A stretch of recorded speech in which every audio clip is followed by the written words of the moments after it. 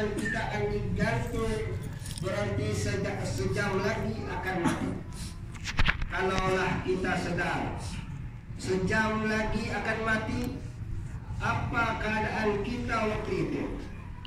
Apa yang kita fikirkan dan rasakan dan apa yang akan kita lakukan? Terfikirkah waktu itu hendak beli rumah banglo yang besar? Tukar kereta baru?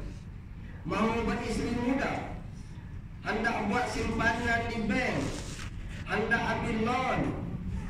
Mahu merebut pangkat tinggi? Bermimpikan gaji yang besar? Inginkan pujian dan sanjungan manusia? Dan kalau ada orang puji Waktu itu sukakah hati kita Rasa sakit, rasa sakit hati dengan manusia lagi Masih ada rasa dengki, dendam Bakhil, sombong, marah, angkuh, ujub, riak. Dan seribu macam kejahatan Dan kelayan yang kita buat selama ini. Sudah, sudah tentu tidak? Semua itu hilang lesak dalam fikiran kita. Kosong sekosongnya Bahkan kalau terlintas pun Terlalu benci dan kesal Yang tidak terhingga Waktu itu kita lah manusia yang paling susah di dunia Tiada sedikit pun rasa senang Indah dan sukaria lagi Muslimin jamaah yang berbahagia Kalaulah sate kadang di depan mata pun Ataupun sate bulan Sekalipun di hadapan kita tidak lalu lagi. Apa juga nikmat dunia tiada bulannya lagi. Yang ada ialah takut, cemas, bimbang, kesal, gerun, keluh kesah, sakit dada. Kalau ada sakit jantung, mungkin mati dua tahun sebelum digantung. Perasaan bergelombang, fikiran buntu, perasaan kacau bilang, kacau bilau, huru hara kelam kabut dan sesungguhnya adalah tidak terkata dan tidak tertulis di sini. Anda rasailah sendiri dengan membayangkan yang sejam lagi anda akan mati. Boleh membawa rasa akal dan perasaan kita. Bahkan boleh jadi gila. Pernah diceritakan orang mereka yang dalam kurungan sedang ditahan untuk hukum gantung masing-masing macam tidak simak. Ada yang minum arak supaya mabuk kerana mahu melupakan kesusahan itu. Dahsyatnya kematian itu. Dia melenyapkan seluruh kebahagiaan manusia. Gelak ketawa, bergurau sanda, bergembira, lenyap dari hidup manusia. Orang yang beriman tentu akan buat taubat nasuha hatinya akan dipersembahkan sebelah bulatnya pada Allah dipersembahkan seluruh hidup kepada Allah meratap merintih menangis merayu dengan segala harapan agar Allah terima kematiannya dengan baik dalam pada itu dimasakkannya juga yang tinggal agar memaafkan kesalahan dan dosanya membayar hutangnya, menjaga anak istrinya, maka dia melangkah ke tali gantung dengan hati yang bergantung kepada Allah Subhanahu wa taala. Tetapi kalau orang yang tidak beriman atau lemah iman yang mana hatinya tidak kenal Allah, tidak kisah dengan Al-Quran, tidak kisah dengan agama, tidak kisah dengan Allah, tidak pernah meminta, tawakal dan tidak menggantung harap pada Allah Subhanahu wa taala. Maka ucap kacirlah jadinya. Itulah saat penderitaan yang paling dahsyat bagi sepanjang hidupnya. Di samping disusahkan kematian sejam lagi akan datang kesusahan lain ialah mengenalkan apa akan jadi pada anak istri dan apa akan jadi pada harta benda yang disayangi. Itulah kesusahan di dunia. Sedangkan di alam barzah lebih teruk lagi. Sidang jamaah jemaah jamaah Allah Subhanahu wa taala. Demikianlah gawatnya saat-saat kematian itu. Yang mana kalau dirasai oleh kita Nescaya hal ini akan menentukan satu corak hidup yang jauh berbeza dengan apa yang kita lakukan sekarang. Kita tahu kita akan mati tetapi tidak tetapi kita tidak rasa yang kita akan mati. Atau kalau rasa pun kita kira lambat lagi kematian itu datang. Rasa-rasa tidak mungkin yang Allah boleh matikan kita seminit dari sekarang. Sebab itu kita masih merancang hendak hidup lama dan melupakan persoalan-persoalan mati. Kita masih dan sedang merancang hendak membesarkan lagi rumah yang besar. Sedang berkira-kira hendak ambil loan untuk dapatkan kereta baru. Bersuka-suka dengan perempuan yang tidak halal. Ingin ingin bahkan rebut jawatan lagi. Inginkan pangkat gaji besar lagi supaya kita berbangga, menunjuk-nunjuk, bermewah-mewah, gila puji, gila dunia, sombong, takabur, dendam, bakhil dan macam-macam lagi. Sifat jahat lahir maupun batin yang kita ingat yang kita jadikan mainan hidup kita. Walhal kalau kita sedar dan rasa yang kita akan mati, tentulah semua kejahatan itu dapat dielakkan Tentu rumah yang ada sudah cukup memadai. Bahkan kemungkinan tidak diper, hendak diperkecilkan lagi. Serba takut dihisap nanti. Tentu tidak ambil riba lagi dan tidak yang tidak bantu bank-bank riba. Bahkan duit simpanan pun dikeluarkan dalam bank dunia dimasukkan dalam bank akhirat. Tentu sudah takut hendak bergaul bebas dengan perempuan yang haram baginya. Bahkan hendak pandang pun takut Takut zina mata Takut mata itu nanti dibakar oleh api neraka. Sudah takut hendak mengenai jawatan besar Dan gaji besar. Sebab ia semuanya akan memberatkan Dan menyusahkan hisap di padang masyarakat. Pendek kata Apa juga perkara yang boleh menyusahkan kita Di alam berzah sana Dan di alam kubur sana nanti? Tentu kita elakkan sedaya mungkin. Hatta soal-soal hati pun dijaga. Jangan dibiarkan busuk dan kotor. Kerana hati begitu, begitu nanti tidak selamat juga daripada dibakar oleh api neraka. Terima Allah Subhanahu wa taala. A'udzu billahi minasyaitonir rajim. Yauma la yanfa' yauma la yanfa'u malu wala banun illa man atallaha biqalbin salim. Padahal itu pada hari itu kita beri menghadap Allah Subhanahu wa taala maka tidak berguna lagi harta dan anak kecuali mereka yang pergi membawa hati yang selamat. Muslimin jamaah rumah yang rahmat Allah Subhanahu wa taala.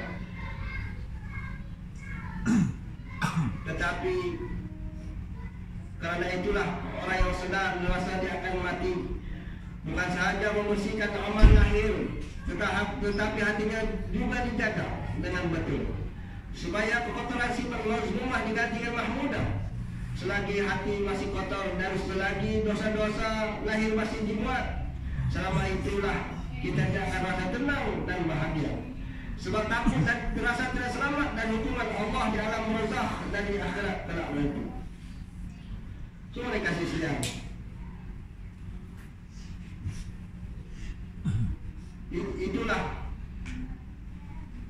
itulah hakikatnya kehidupan manusia yang pasti akan mati. Ya, mati pasti datang. Dan kita akan hidupkan kembali untuk dipersoalkan, dipersoalkan tentang apa-apa yang Allah bertanggungjawabkan kepada kita di dunia ini. Soalnya, bilakah masanya kita akan mati? Jawabnya kematian itu mungkin akan berlaku sejam lagi Mati boleh datang sedetik lagi Atau sesaat lagi. Jawabnya kemati, Kematian itu mungkin akan berlaku sedetik lagi. Mati boleh datang sedetik lagi. Jangan kita remehkan hal ini Bahawa Allah cukup kuasa untuk mematikan kita sebentar lagi. Kalau kita tidak gentar dengan keperkasaan Allah Cuba doakan agar Allah tarik nyawa kita sekarang juga. Jangan fikir Allah tidak akan boleh buat demikian. Allah boleh matikan seluruh manusia dunia ini sekaligus lamat sekali mata. Begitu kuasa Allah. Kun jadi maka jadilah. Cuma Allah tidak berbuat demikian. Dia benarkan lagi kita hidup untuk beberapa waktu lagi agar sempat lagi kita bertobat dan menambah amal bakti dan mengabdikan dirinya pada padanya. Firman Allah Subhanahu wa taala, "Wa ma khalaqul jinni wal insan illa liya'budun." Tidak aku jadikan jin dan manusia melainkan untuk menyembahku. Sidang jemaah yang berbahagia. Itulah faedahnya ingat mati. Kita akan takut dengan dosa. Bahkan amal yang sia-sia pun tidak diterbuat lagi. Ingat mati benar-benar kontrol kita untuk minta ampun dengan Allah dengan dan juga sesama manusia. Tidak berfikir lagi hendak derhaka kepada Allah dan pendek dan bersengit-sengit hati dengan kawan-kawan. Di samping itu, ingat mati akan bertambah kekuatan untuk melakukan amal kebajikan dan berkorban serta berjuang menangkan agama Allah Subhanahu wa taala. Kita tidak fikir panjang lagi untuk berkorban segala-galanya di jalan Allah. Tidak letih lagi tidak letih lagi berjuang untuk menegakkan hukum Allah Inilah dimaksudkan oleh Rasulullah sallallahu alaihi wasallam bahawa orang yang cerdik ialah orang yang banyak mengingati mati. Yang mana hasil ingat akan mati akan terputuslah segala kebaikan dan hapuslah sikap jahat kita. Bukannya kita ingat mati langsung tidak mahu keluar rumah. Hendak sembahyang saja. Itu semua perangai orang jahil. Orang yang faham Islam dan agama bila sebut mati maka berlompatanlah mereka berjuang membangunkan agama agar mati syahid. Kisah kacau mati yang paling mulia ialah mati syahid. Rasulullah dan para sahabat ialah generasi umat Islam sangat banyak ingat mati. Apakah mereka bangsa yang fasik dan jemur? Tidak. Di tangan mereka lah tiga per empat dunia menyerah pada Islam. Mereka menguasai hampir seluruh dunia ini berhabisan-habisan menyerah tenaga fikiran segala-galanya untuk Allah sebagai simpanan di akhirat nanti. Itulah hasil ingat mati.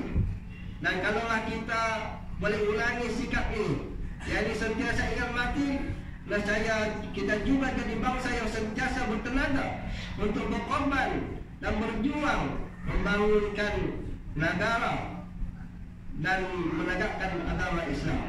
A'udzu billahi minasyaitonir rajim. Kullan yum kalla yum kalla la yumbad nabil hutama wa ma adraka al hutama la wallahi al muqaddam بارك الله لي بارك الله لي لكم في القرآن العظيم ونفعني وإياكم بهذه الآيات والذكر الحكيم وتقبل مني ومنكم تلاوة إنه هو السميع العليم أقول قولي هذا واستغفر الله لي ولكم ولسائر المسلمين والمسلمات فاستغفروه إنه هو الغفور الرحيم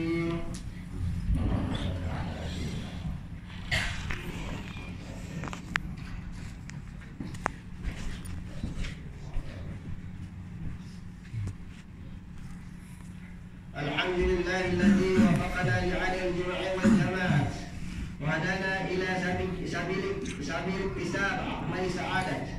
أشهد أن لا إله إلا الله وحده لا شريك له.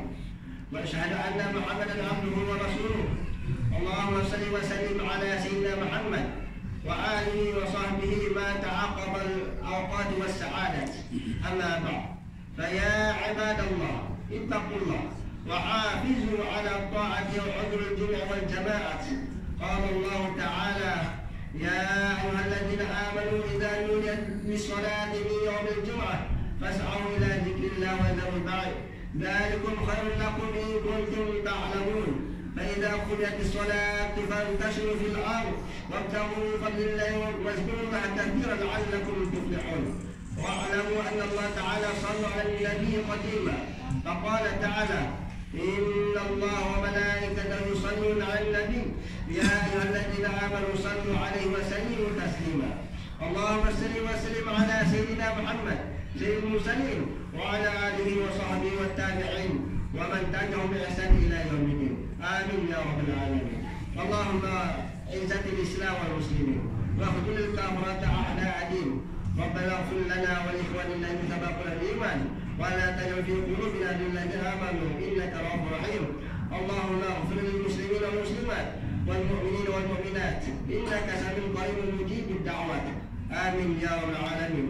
ربنا آتنا في الدنيا حسنة وفي الآخرة حسنة وقنا عذاب النار. عباد الله إن الله يأمر بالعدل والإحسان وإيتاء ذي القربى عن الفحشاء والمنكر والبغي يعظكم لعلكم تذكرون. فاذكروا الله العظيم يذكركم. واشكروه على نعمه يزدكم واسألوا من فضله يؤتكم ولا ذكر الله أكبر والله يعلم ما تصنعون. أقيموا الصلاة.